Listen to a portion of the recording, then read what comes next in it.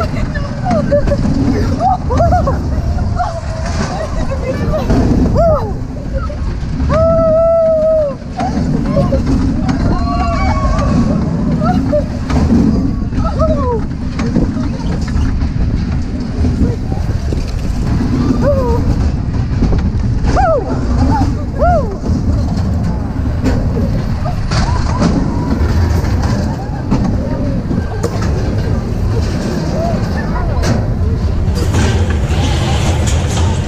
Attention.